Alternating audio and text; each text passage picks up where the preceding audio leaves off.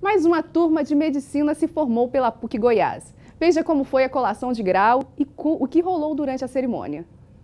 Estudar por seis anos não foi fácil. Chegar até aqui exigiu muito esforço e dedicação. Minutos antes da colação de grau, muita ansiedade entre os formandos. Ai, o nervosismo, a emoção toma conta mesmo, mas tá bem especial o momento. Nessa hora vale qualquer registro. A selfie foi uma boa opção? Sim, até uma selfie vale nesse momento para marcar e registrar essa ansiedade e tudo que a gente sente, o orgulho de ter chegado até aqui e de poder compartilhar esse momento tão especial com os nossos colegas que se tornaram verdadeiros irmãos. Afinal, é uma caminhada muito difícil, são seis anos, um ano a mais que vários outros cursos e que faz toda a diferença no final. E para deixar a turma toda emocionada, o capelo foi entregue pelos pais. Uma sensação em, do, em dobro, dobrada. Primeiro, por estar formando uma filha.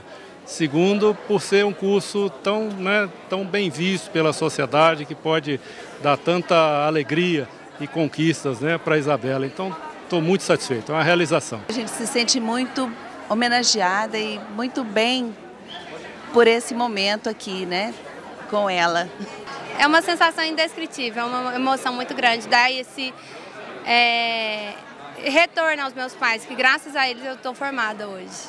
Essa é a 15ª turma de Medicina formada pela PUC Goiás, que tem como um diferencial a formação humanística. Com muita alegria que a universidade disponibiliza, por assim dizer, para a sociedade goiana e brasileira, mais um conjunto de médicos e médicas que certamente farão a diferença né, na vida das pessoas, que sejam médicos e médicas extremamente humanos, que acolham as necessidades das pessoas e sejam capazes mesmo né, de fazerem ali a diferença no cotidiano das pessoas que os procuram.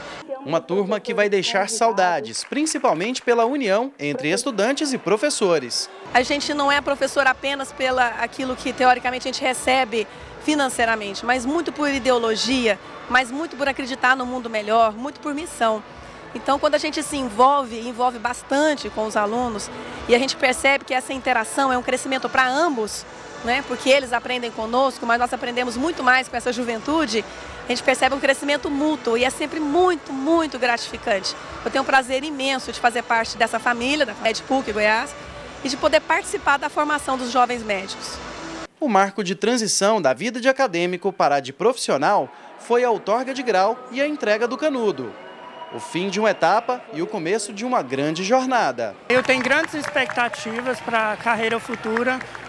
Gostaria e vou formar para cirurgia geral, que é o meu sonho, desde sempre quando eu entrei, foi um desejo que eu tive e gosto muito dessa área e é o meu desejo, do coração, do fundo do coração.